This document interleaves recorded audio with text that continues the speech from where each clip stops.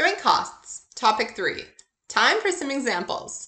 In just a moment, I am going to pull up my Excel spreadsheet where I have copy and pasted the activities, these examples, into the Excel spreadsheet. And then I'm going to walk through what's on your slides posted to Brightspace, uh, the walkthrough of the cost and the allocation in Excel, which I've also linked in Brightspace. Uh, so you're welcome to do either. Follow along uh, with me and attempt it in Excel or follow along via the slides. At the end, there's going to be an MCQ question, which I would, of course, encourage you to try on your own in Excel or using a piece of paper with perhaps a calculator. Alrighty, let's get at this. Okay, so for the first one, we are going to extend the example that we used in topic video two. Uh, so the video just previous to this, where we talked about milk. Uh, and we have milk and cheese, and we have where when the cheese curds are separated uh, from the liquid whey, uh, the cheese curds go on to make cheese and liquid whey goes on to be produced into some protein powders. And this all comes from a joint product, uh, pardon me, a joint um, process of milk. So it goes from milk and then it splits off to cheese curds and whey. Okay, so using the physical measures method, let us allocate how much joint costs to allocate to each of the liters uh, for cheese and to the whey. So let's use the total. So go cheese, and then we have whey.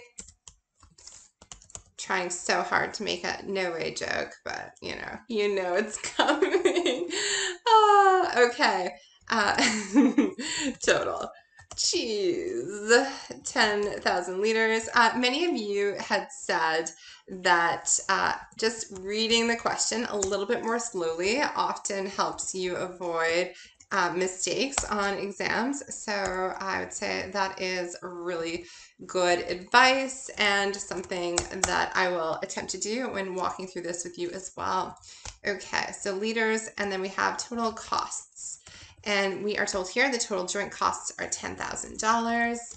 And now we have to use the liters and the proportion of each to allocate this $10,000. And sure, you can look and say, oh, that's 25%, that's 75%, but let's actually go through it. So 10,000 liters of the total 40,000 liters that has been produced times by your fair share of the joint costs. So cheese we get 2,500 and whey, you can either say gets the rest because there's only two joint products here, or you can go through and say you get 30,000 out of the total 40,000 at times by the 10,000 costs. Do a sober second check to make sure um, using Excel that this plus this equals this, and you are good to go. All right, so under the physical measure method, we would be allocating $2,500 of joint costs to cheese and 7,500 to whey. Seems fair, I guess. Um, but we'll start looking at whether or not this is actually uh, distorted later on. So let us just highlight this and see what we do in future. All right, so now we're looking at the sales value at split off. And we are still looking at cheese and we are still looking at whey uh, and the total. But here we are looking at total sales value.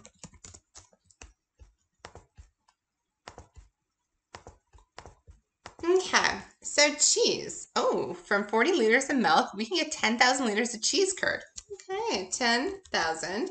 And what's this going to sell for? cheese curd sells for $42 per liter. Cool. And whey, how much are you going to sell? Just whey at your split off point, you can sell for $14 per liter. But how much have you? Oh, 30,000.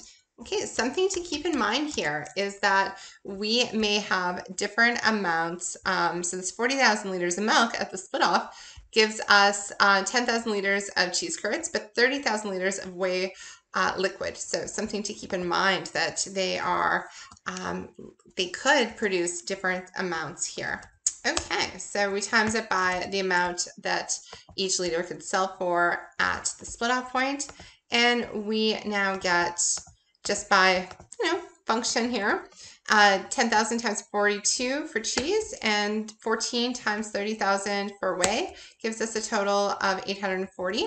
And our joint costs to allocate are still the 10,000 because it doesn't, like the joint costs don't go away. They are what they are, what they are. So the input costs of the joint costs up till split off were 10,000. And now we have to see who gets how much. Well, you can physically look at this and say 420 plus 420, that's the exact same. Um, so each one of these are going to get 50%, or we can just prove it out and do it again here. You get 420 out of the total 840, uh, and you get your fair share and you get your fair share. Give this some decimals, a little bit of around here, and we're going to highlight this to see that under the sales value at split off, you each get 5,000. Now, is this more fair than the physical method of 2,500 and 7,500? I don't know. I mean, something that feels very fair about just saying 50-50. But physical, I mean, you should get more if you produce more, right? I don't know. Because can you really do a lot? Are you really going to sell this at the split off for $42 per liter and $14 per liter, or are you going to do more with it? You know, is the whey in liquid whey form really something that you're planning on selling? Maybe, maybe not.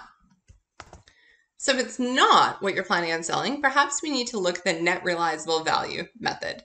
The final cheese product, blocks, made from curd sells for $78 per liter with no loss in weight during production. The additional processing costs $8 per liter to make the cheese, and the whey requires packaging and will sell in bulk for $18 per liter. But that costs us an extra dollar per liter to do so.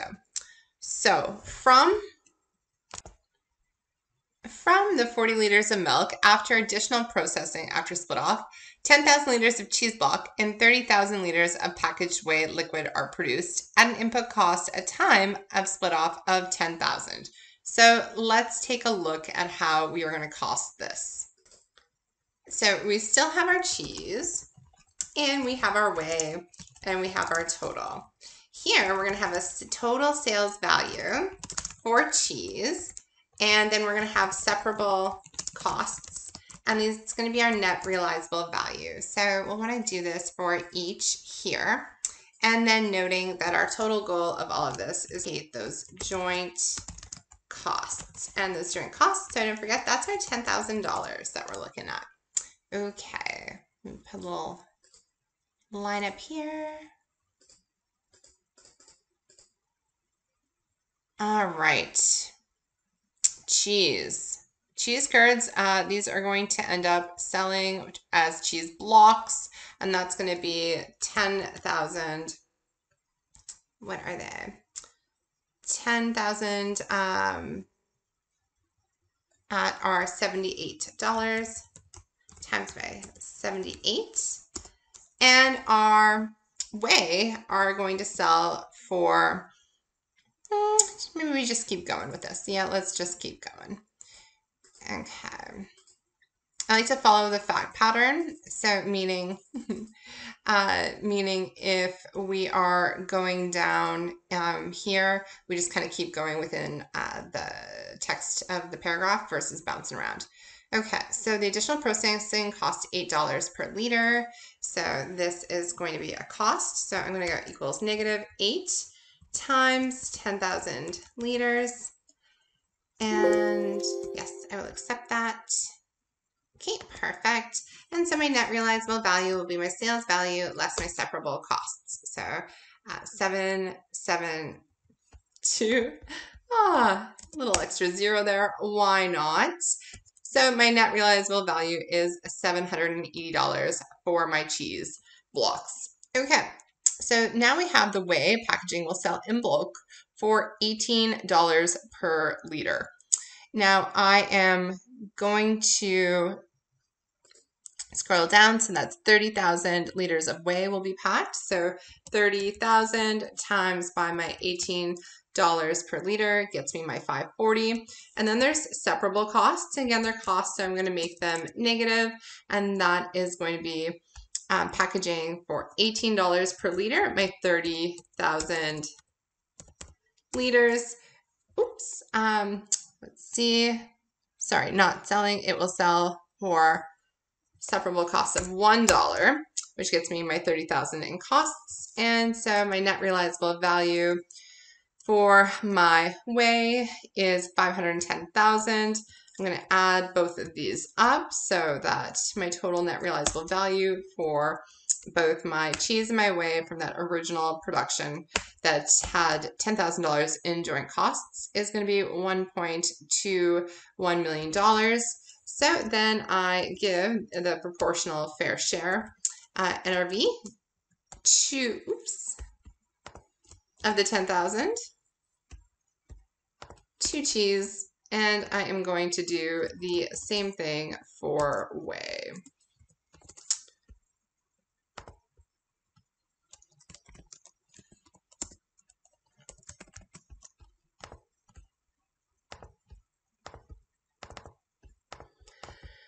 Okay. Whey. So here, I just want to kind of show you one thing. And I'm just going to title this NRV, and I'm going to scroll it a little bit. And we're going to take our sales value. I'm going to copy paste this into here. And I'm going to say, oops, this was our sales value. And then our physical method, if you go back and look here,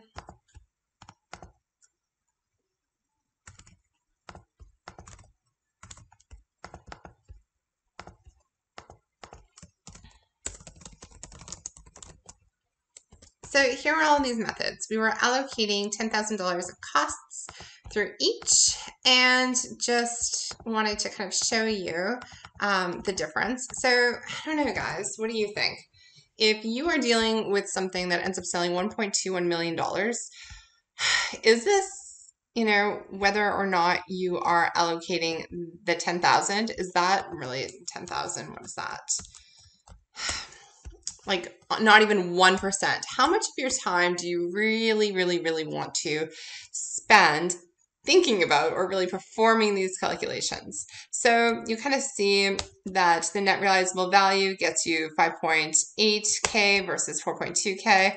Really, the difference between each of them is going to be even less than that 1% because that 1% represented the $10,000.